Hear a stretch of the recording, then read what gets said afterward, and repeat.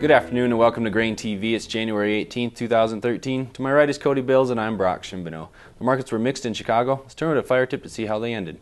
Corn was up two and three quarters, beans off one and a half cents today. Wheat in Chicago up nine and a half, and Kansas City was up six and three quarters as well pretty nice positive day for wheat, but doesn't really seem like a whole lot was driving the markets today, Cody. So let's turn our attention from the northern hemisphere and down to the southern hemisphere. Weather is really starting to be a concern, especially in Argentina. Yeah, absolutely. And, and luckily, right now, uh, we have uh, Jeff Doran, who, who's a senior business meteorologist at Planalytics. Planalytics is a business weather intelligence company. They work with uh, companies all across the spectrum insurance, retail, you name it the thing is that they that they bring to the table here is a great perspective in agriculture. They work with crop insurance agents, retailers, crop consultants, so and as well uh, as producers. So the nice thing is here is we got a really good agricultural perspective here from Jeff Doran. Uh, he's got a whole lot of experience. He was a U.S. Um, he was a U.S. Air Force officer and has been with Planalytics for 14 years. So Jeff, you know, thanks a lot for joining us. I guess I'll get right into it. You know, one of the big questions that's been focusing. Uh, uh, that the market's been focusing on is Argentina. We know that they uh, that they have a drying trend right now. Uh, do you think that drying trend will continue, or do you think it will improve? Yeah, Cody. And by the way, thanks for having me. I appreciate it. We have seen a drying trend over that region, but I will tell you that uh, we've had a pretty strong uh, wet start to the growing season across most of Argentina. Uh, as a matter of fact, some areas have reported upwards of uh, 150 to 200 percent of normal precipitation uh, so far for the growing season. So, you know, there is some conventional thinking that while we'd be concerned about a drying trend, actually, given the fairly wet spring, it, it hasn't been too concerning at this point. Now, that said, uh, we we watch sea surface temperatures and how they influence the weather pattern. And right now, we're seeing what we call a high pressure ridge sitting off the uh, western coast of Argentina. And in essence, what this, what this is doing right now is it's deflecting the primary jet stream away from the Argentina region further to the south. So it is deflecting some storms, and that is the reason behind a lot of the drying trend that we've seen. Now, we do expect as we head uh, uh, into the next week to 10 days that we'll start to see some storminess come into parts of uh, northwestern Argentina uh, up over the Andes, and then we typically get redevelopment of moisture on the lee side of the Andes. So we we don't feel great alarm at this point with that with that drier trend, uh, simply because number one, we do believe we will get more moisture, and number two, we've had a pretty wet start to the growing season. So uh, we're not sounding the alarm bells as of yet let's just kind of switch over to Brazil here. You know, in February we'll start to see some early uh, soybeans being harvested in Brazil, and by March we should be around the peak of harvest. What's your outlook for those months in Brazil? Is there any chance for harvest delays? I think it'll be important for the U.S., especially considering the pace of exports that we've had lately. Uh, similar to Argentina, I will tell you that parts of southern Brazil have had adequate wetness. Uh, there is one area in the states of uh, Minas Gerais and, and uh, Bahia that have seen below normal precipitation. So we have had some uh, some issues with uh, with growth in some of those drier areas. What I will tell you is that heading forward in February and March, we actually see adequate moisture in these areas. So that is certainly good for for continued late season growth. Specific to harvest, I will tell you that while we see adequate wetness, we're not really envisioning any big issues in terms of harvest.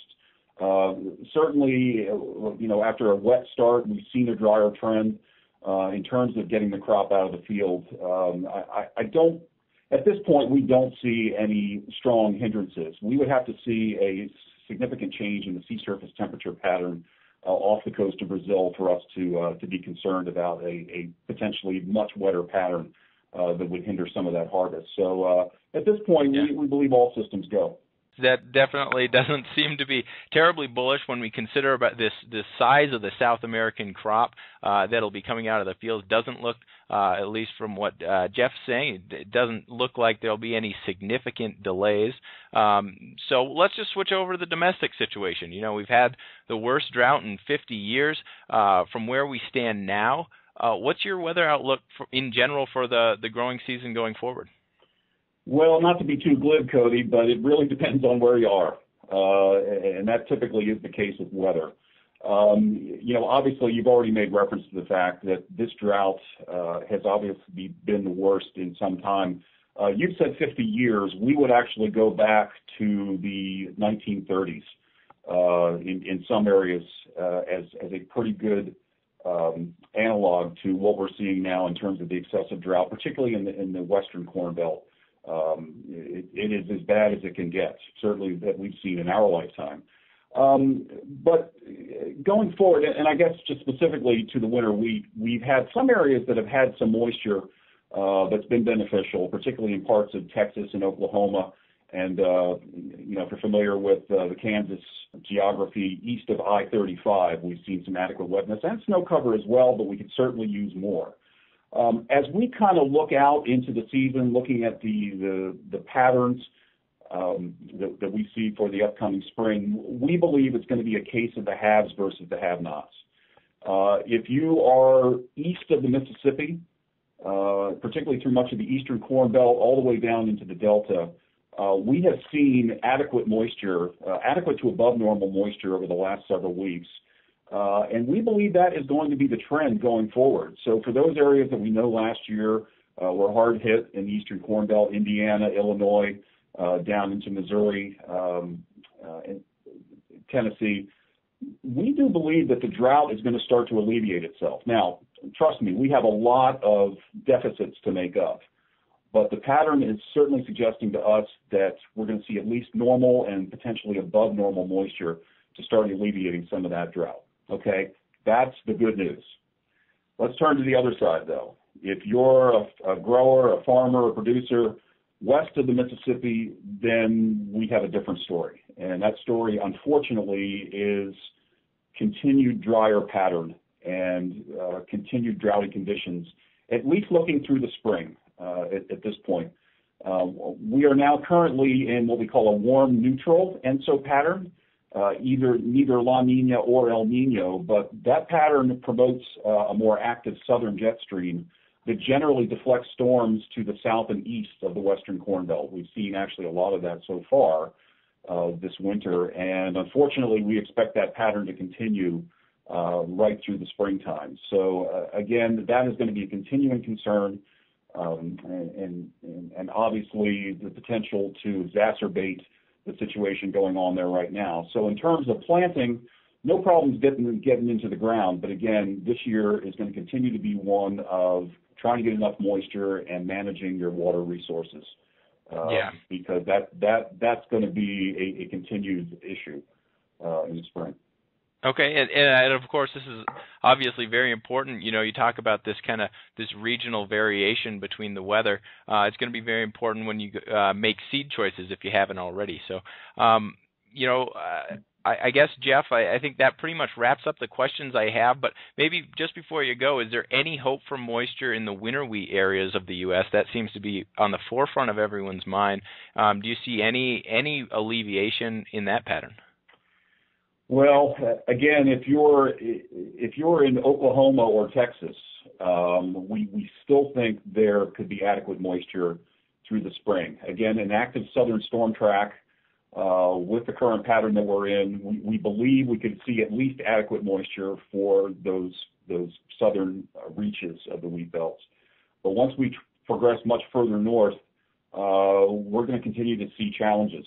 Um, and um, we think that ultimately could impact yields going forward. Now, again, it's a trend we'll continue to follow, uh, but that's kind of the way that things are looking right now. All right, Jeff. Well, that pretty much wraps up the questions I have today. Thanks a lot for uh, for joining us and, and, answering these kind of these tough questions. Uh, and these are questions that matter to all of us, whether you're uh, dealing with the markets or you're dealing with the business side, uh, the mechanical side of, of farming. So, uh, once again, thanks a lot for joining us, Jeff. Um, Brock, what what are the, some of the things? I mean, now knowing what Jeff has to say about the weather domestically and in South America, you know, what was the biggest concern for you?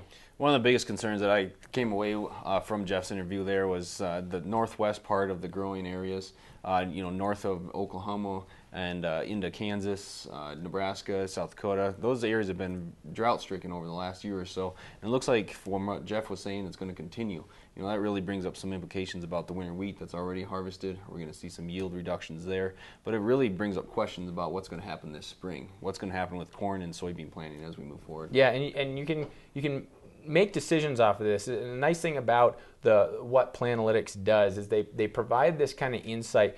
Weather only repeats itself about 20% of the time. So we cannot be going off of what happened last year to make this year's decisions. And I think what's interesting about what Jeff said is that this could really impact the way you think about your crop insurance, the way you think about your seed selection, you know, how much fertilizer you put down, or even if you put down fertilizer. This is, you know, just, just the, the variety of grain that you choose to put in the ground. This is a very, uh, very important and I think particularly for those guys west of the Mississippi, uh, that that's huge. Now, for me, I thought what was kind of interesting and surprising is that uh, Texas and Oklahoma has a good chance of actually getting adequate moisture uh, during the growing season or during the uh, the earlier part of the spring. So what that tells me is that maybe this wheat crop, even though the good to excellent ratings are so far down, um, maybe this uh, this wheat crop actually has um, better potential than people are giving it credit for. So um, you know, I think I think you know, looking at history, we do know that the good to excellent rating going into the growing season